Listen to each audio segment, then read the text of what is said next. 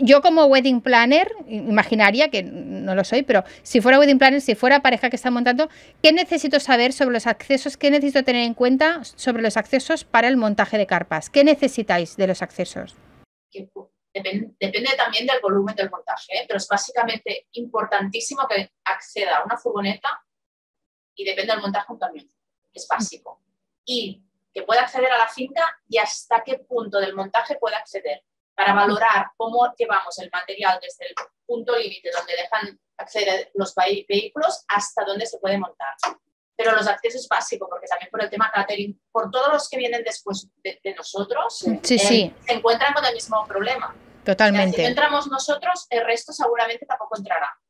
Ni el generador, ni los baños, ni el catering, todo, todo repercute. O sea, los accesos es muy importante. Totalmente. Eso también lo comentábamos en el podcast que hicimos con Chell eh, y Ana de Nuevo Vitiati. claro, eh, camión, o sea, toda la A veces nos llaman.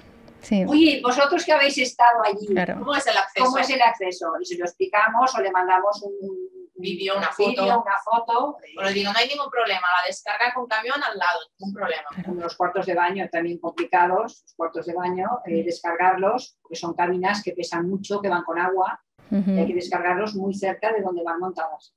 Si quieres consejos para tu boda, entra en houstontenemosunaboda.com.